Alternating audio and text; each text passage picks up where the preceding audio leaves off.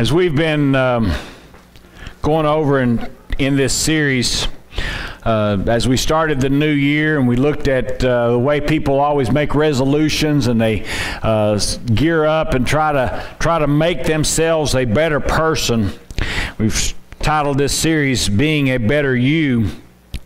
I hope that it's helped you all as we've been going through this series. I hope that it's helped you uh, to just gain a new perspective. It has, it has me just studying for it and, and, and getting it together. Uh, it helps to get a new perspective. Now, there's a lot of money spent on being a better you.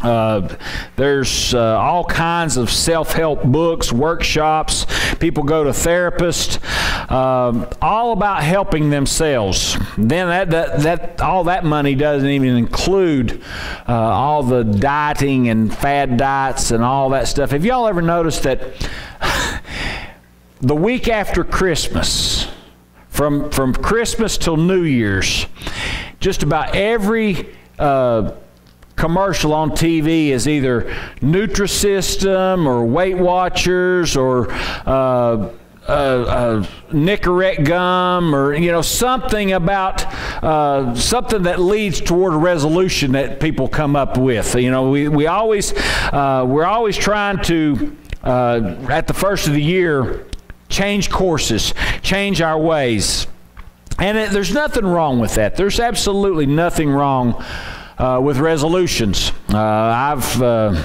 I, I, I, do it sometimes. I've, I've, I've started several new things at the beginning of years. And um, sometimes I've been successful, sometimes I haven't. Um, we, uh, and, and I think that everybody has tried it at some point or the other. One year I made it and I, and I lost quite a bit of weight, and the next year I, did, I, I gained it all back. You know, that kind of stuff. It happens. Um, but we started looking at this a couple of weeks ago about being a better you. And of course, we started out, just to recap, uh, that in order to be the best you that you can be, the first thing you have to have is faith. You have to have faith in God. You have to put your faith, first of all, in Him for your salvation. You have to put your faith in Jesus Christ for salvation.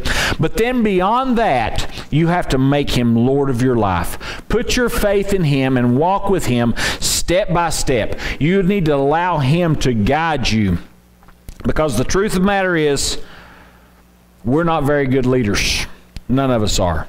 Uh, we may think we are, and you may be a good, a good leader and so on, but if you're not following God, you can't lead anybody in the right path uh, because He's the only one that knows what's best for us. He's the only one that knows the best, best path to take. And for that reason, we have to follow after Him.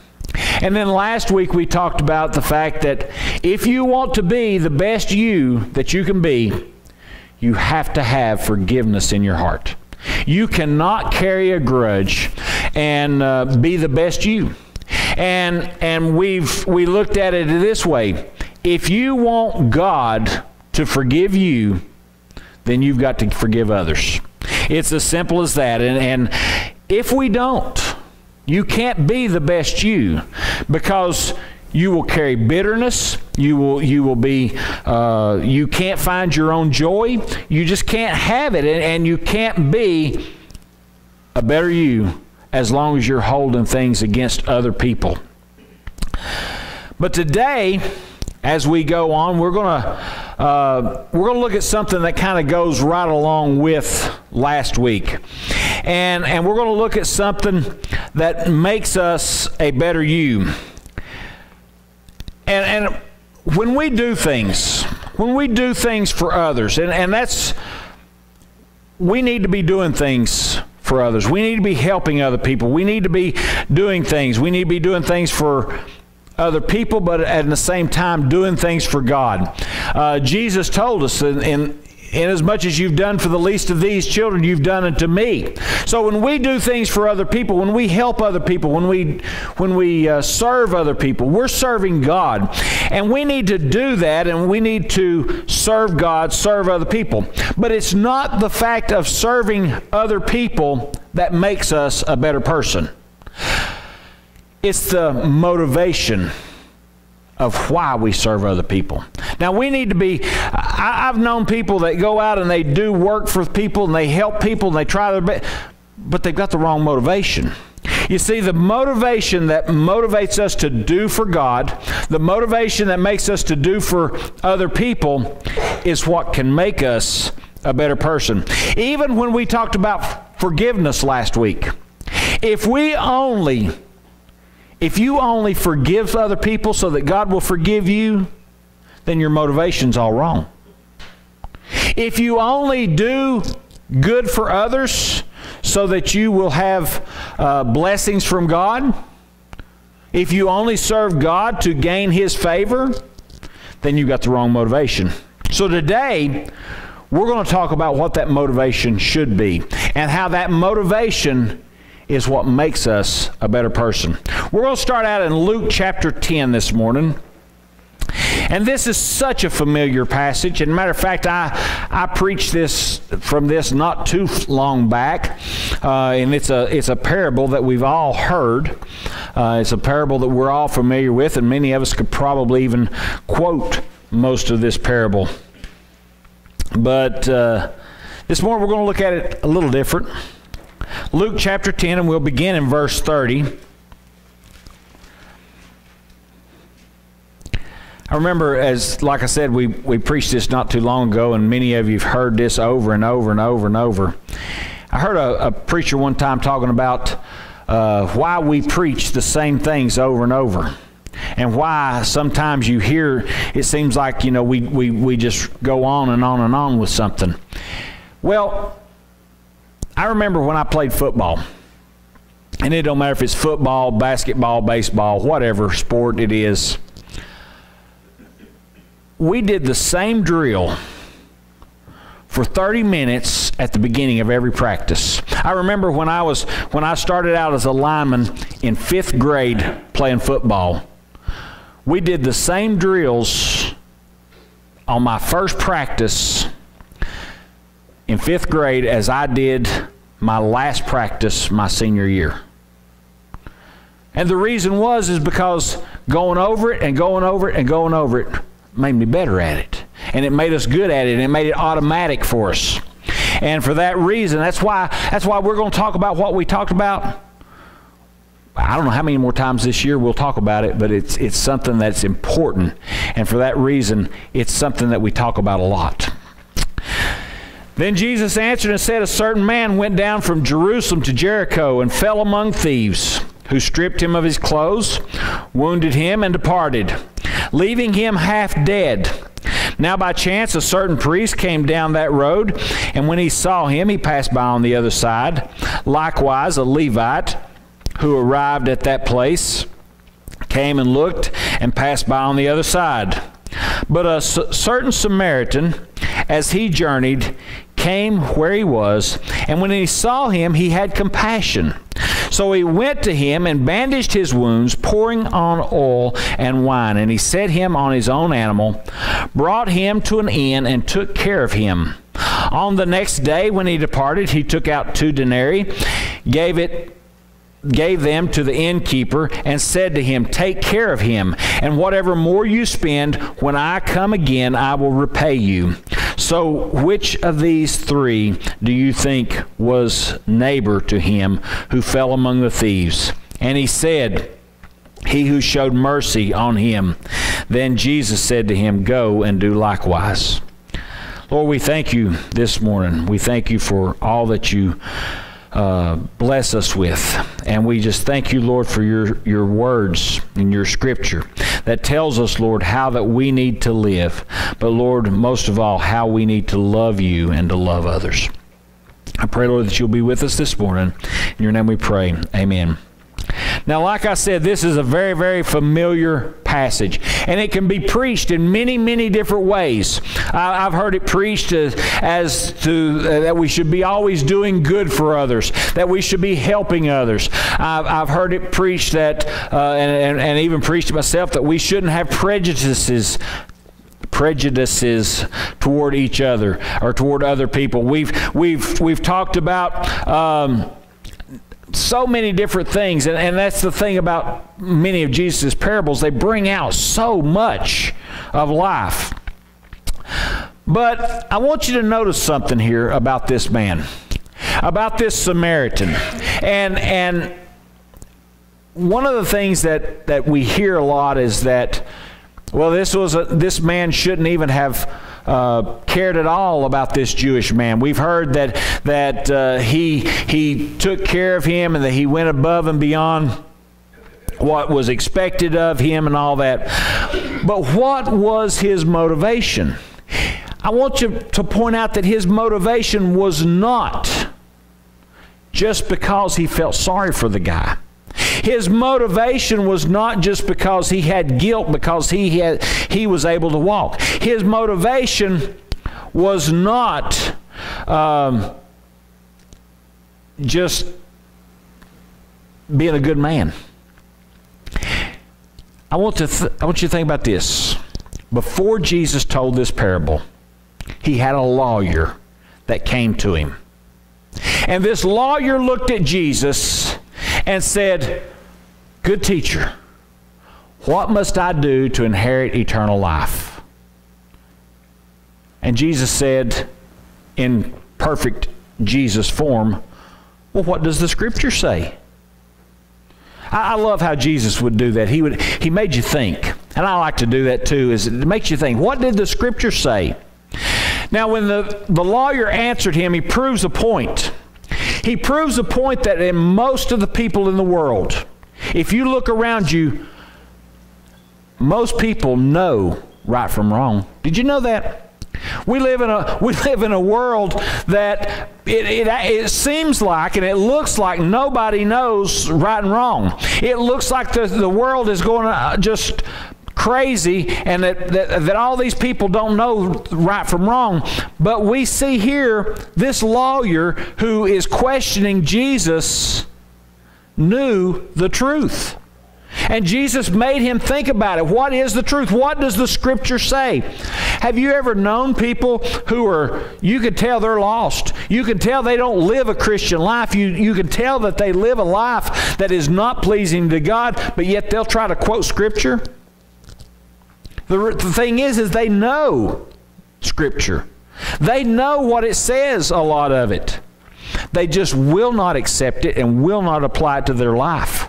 But when he asked the, the, lawyer this, he said, So he answered in verse 27. We back up a little bit. Verse 27 says, So he answered and said, You shall love the Lord your God with all your heart, with all your soul, and with all your strength, and with all your mind. And your neighbor as yourself. You see, Jesus' story of the Good Samaritan, the, the parable of the Good Samaritan was not about us doing good things for other people. It was not about us helping other people. Jesus' story and parable of the Good Samaritan was about loving other people. If you were to go and look at all of Jesus' teachings, the majority of them are about love. The scriptures all point to love love of God, love for God, love from God, love for others. You see, Jesus wanted to point out to this lawyer because the lawyer he said, "Well, of course, but but who's my neighbor?" And that's when he told the story of the good Samaritan and he made it a point that this man had compassion on a man that he would not normally have been expected to have compassion on. It wasn't about just being a good man, it was about loving his fellow man. Folks, we I, I love the way that Jesus put it. Uh, because some Jesus was asked this same question more and more. In Matthew chapter 22, verse 34, Jesus was asked the question again, and he said, But when the Pharisees heard that he had silenced the Sadducees, they gathered together. Then one of them, a lawyer, asked him a question, testing him, saying, Teacher, which is the great commandment in the law? And Jesus said to him, You shall love the Lord your God with all your heart, with all your soul, and with all your mind. This is the first and great commandment. And the second is like it. You shall love your neighbor as yourself. On these two commandments hang all the law and the prophets. You see, Jesus here, when he was asked about the great commandment, he goes back to a quote from Leviticus. He goes back to Leviticus chapter 19, which tells us, he has this in it that says, we shall love your neighbor as yourself. Now, I want to see the importance that Jesus puts on it here. I, in, in Exodus chapter 20, when he starts the Ten Commandments, and we, we always hold them up as the, the greatest, the ten. Jesus, it started out with, I am the Lord your God. You will have no other gods before me. I like the way he started it. I am the Lord your God. Whether you choose to, to believe it or whether you choose other gods what, I am the Lord. You'll have no other gods before me. So that's the greatest. That's that's the number one. And, and and our love for God stems from that, from the fact that He is our God. And and we know that loving God is the most important thing we can do. But when Jesus brought it up here, he said the second is like it. In the King James, he says, like unto it. Which to me means that Jesus is putting just as much importance on loving your neighbor as he does on loving God. We know the importance of loving God. We know that, that we should love God because God first loved us. We know that God created us. God sent His Son all because He loved us. And for that, we owe Him everything. And we owe Him all the love that we can muster. Jesus put it this way with all your soul, with all your strength, with all your mind, with everything, every, in other words, every fiber of your being needs to be concentrated on loving God. That's Jesus' words. Everything about you needs to be on loving God.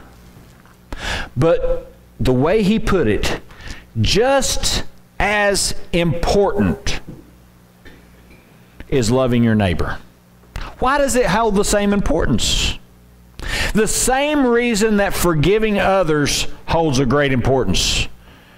Because he said, How can you love God whom you have not seen if you can't love your brother who you have? If you can't show love to your neighbor, if you can't have love to your neighbor, then you can't have love for God. One of the things as we start when we started our, our study on the epistles of John, one of the things that I that we brought out, one of the things in my commentaries that I found out is the fact that it said you can't love God any more than the person you love the least.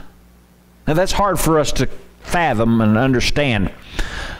But it goes back to that unforgiveness. If you've got somebody that you just it's just hard to love them. It's, it's somebody that, that you don't even like. I don't even like this person. How can I love them? No more love than you show to them can you show to God. You may say that you love God, you may come and you may you may say you worship God and you may you may put forth your best foot and you may you may fool everybody into thinking how much you're showing love to God, but if you can't show love to your fellow man, if you can't show love to your neighbor, then you're not showing love to God. And, and Jesus pointed out here who is the neighbor? We, we think, well, you know, I've got some pretty good neighbors. I can, I can show love to that neighbor. That, that's easy, but I can't show love to, to this person. Folks, Jesus pointed it out here with the, with the Good Samaritan. This was a man who he should have hated. This was a man that, that was, they were politically opposite. They were, they were, they were completely different. But he showed love. And if we want to be the best us, we have to have love. Like I said, if your motivation, like we talked about last week, if your motivation for forgiveness is to get forgiveness from God, then your motivation's wrong. Your, for, your motivation for forgiving other people needs to be because you love other people. Your motivation for doing good for other people is not so that, that God will reward you or that you'll get a pat on the back. It needs to be because you love them.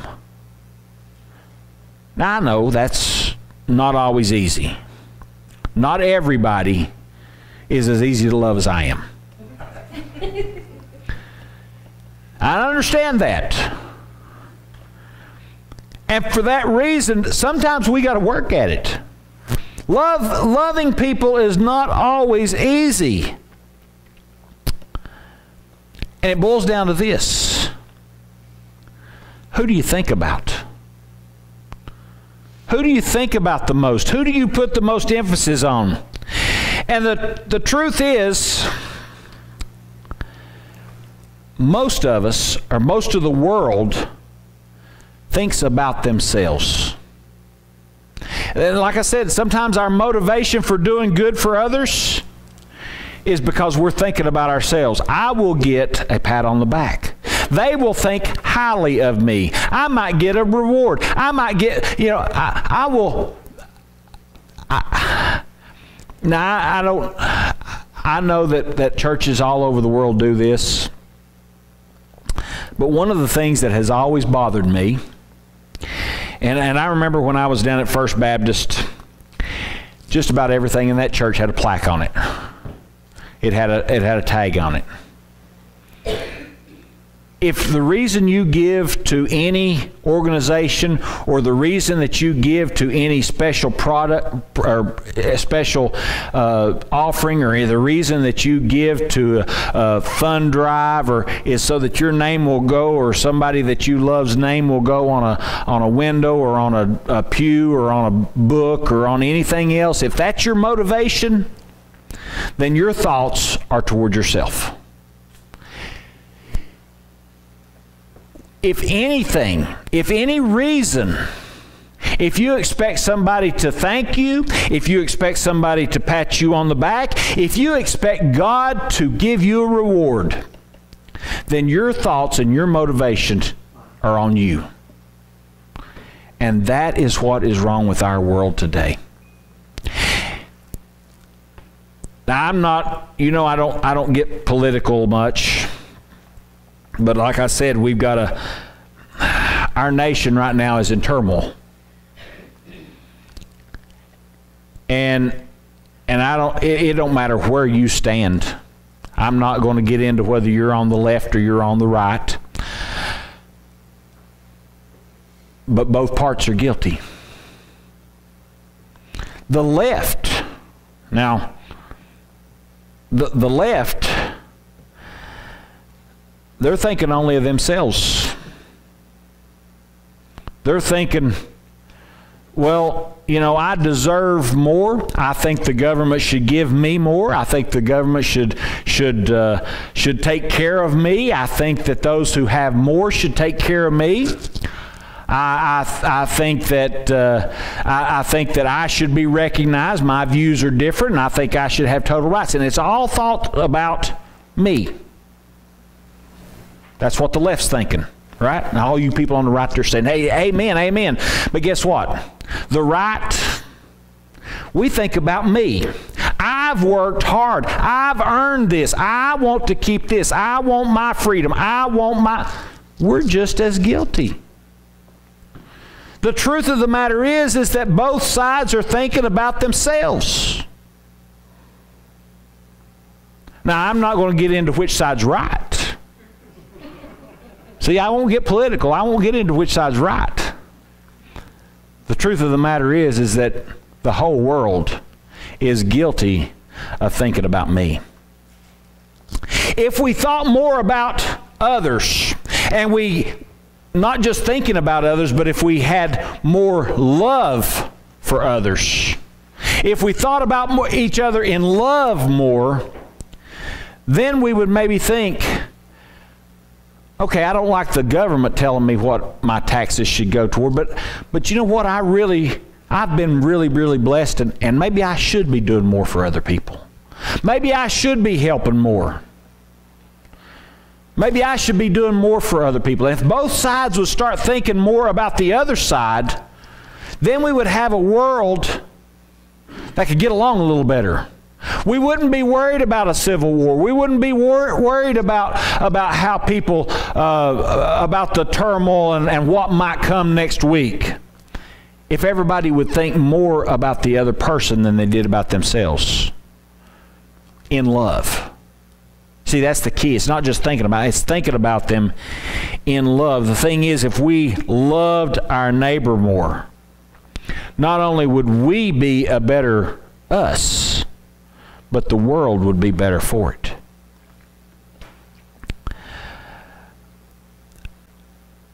Back when, right after the election, there was. Uh, there was a lot of people posting, well, he's not my president. I'm not going to, you know. And I made a post. And it was just a simple post, and I don't, like I said, I, I don't get political a lot. I, I, I, do, but not, I don't post political stuff. I don't normally preach political things, but I had posted something that just said, referred back to uh, Romans chapter 13 and said, you know, if you're a Christian, then you need to submit to the authority. And nothing has happened that God has not ordained. Nothing has happened that God is not still in control. And I had several people, one in particular who was a former pastor's brother in law, who attacked me. Said that I just, I, I don't even preach on sin. And he went on to say that he hated the Democrats. That he hated anybody who could support abortion.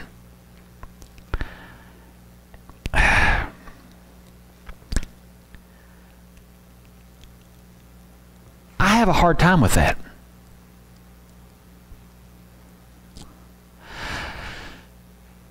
Because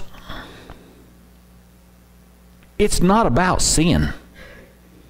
And it's not about evil because we all have evil in us. We all have sin in us. Matthew chapter 5, verse 43 going back to the Sermon on the Mount, and, and, and as we've been talking about this better you, it seems like I keep coming back to the Sermon on the Mount, different portions of it, because that's what Jesus spoke about, is about being a better Christian. Matthew 5:43 says, "You have heard that it was said, you shall love your neighbor and hate your enemy." But I say to you, love your enemy, bless those who curse you, do good to those who hate you, and pray for those who spitefully use you and persecute you, that you may be sons of your Father in heaven. For he makes his sun to rise on the evil and on the good, and, the, and sends rain on the just and the unjust. For if you love those who love you, what reward have you? Do not even the tax collectors do the same? And if you greet your brethren only, what do you do more than others? Do not even the tax collectors do so? Therefore, you shall be perfect, just as your Father in heaven is perfect. There's evil in this world. According to the left, the right is evil because we're we're all, according to them, racist. We're uh, we we we hate gays. We um, we're narrow-minded, and for that reason, we're we're evil. And then the right says the left is evil because they support homosexuals and they, uh, they, they, they support pro, uh, pro-choice. They, they want to take from what, we, what we've earned. We both have evil in us. We both, both sides have sin. But that and I don't I don't agree with a lot of what either side stands for in a lot of ways. But that does not give me the right to hate anyone. Jesus said, Love your enemy. If you only love people that's lovable, like me,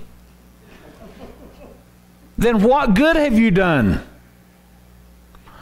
If you only love those people who love you, what have you done different than anybody else? We as Christians are called to love those who don't love us. We're called to love those who are hard to love. The world is not going to agree with you. And we as Christians are just as guilty as the rest of the world for, for holding out those people who we don't agree with. Those people, listen, there's a lot of people in this world that are full of sin.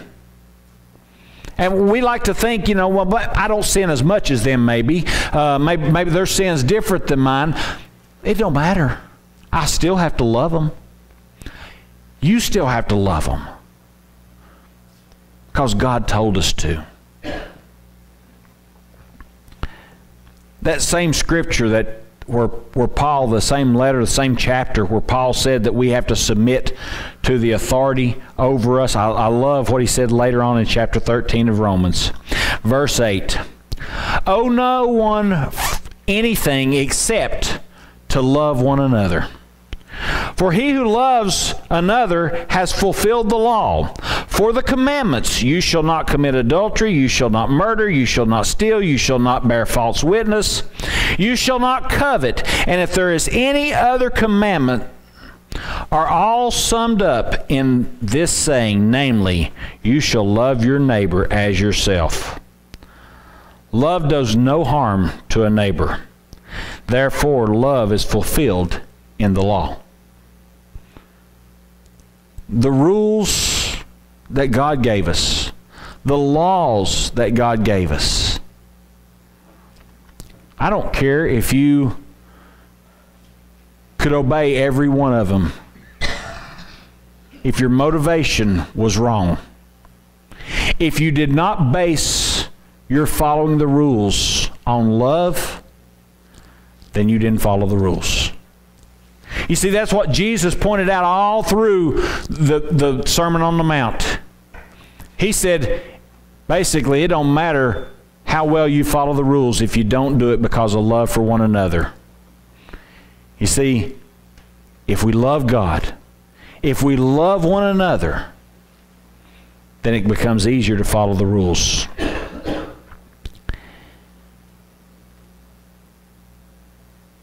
Folks, you're going to be encountered by those people who hate Christians. You're going to encounter people who whose views make you sick. You're going to encounter people in this world that demand rights that you don't agree with. You're going to encounter people in this world who um, think it's okay to kill unborn babies. You're going to encounter people in this world that goes against everything that you hold dear. They're all around us. And you are responsible to love them. I've heard a lot of things said about Nancy Pelosi here lately. I mean, if you if any of you's on Facebook, if you've ever you, know, you you'll see all kinds of stuff. Let me tell you something. Believe it or not, Nancy Pelosi is your neighbor.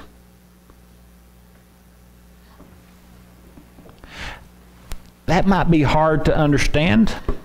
That might be hard to accept. And yeah, it might be hard to love her. But think about this. How hard is it for Jesus to love you? How hard do you think it was for God to show you enough love to send His Son to die on the cross for you? I don't think that was an easy thing to do, but He did it. When you think about being a better you, when you think about being the best you, as you try to fulfill your uh, resolutions, as you try to, to be a better person in the new year, you can't do it if you have hatred. You can't do it unless you learn to love everyone, even those that you don't agree with, even those that you don't even like.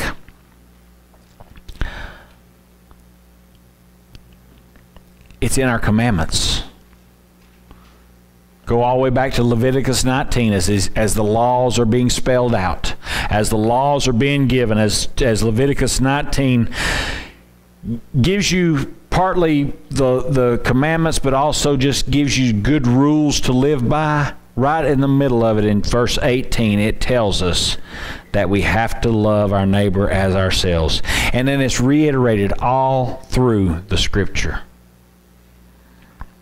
Every decision we make, every action that we take, needs to be based on our love for God and our love for fellow man. And that's the only way you can be a better you. This morning, whatever your needs are, whatever you've whatever you've been holding back. This morning, as Matthew comes to, to lead us in a song, folks, if you've got somebody that's just maybe been on your heart, maybe you just had a hard time having love for somebody this morning, just come lay it on the altar as we stand.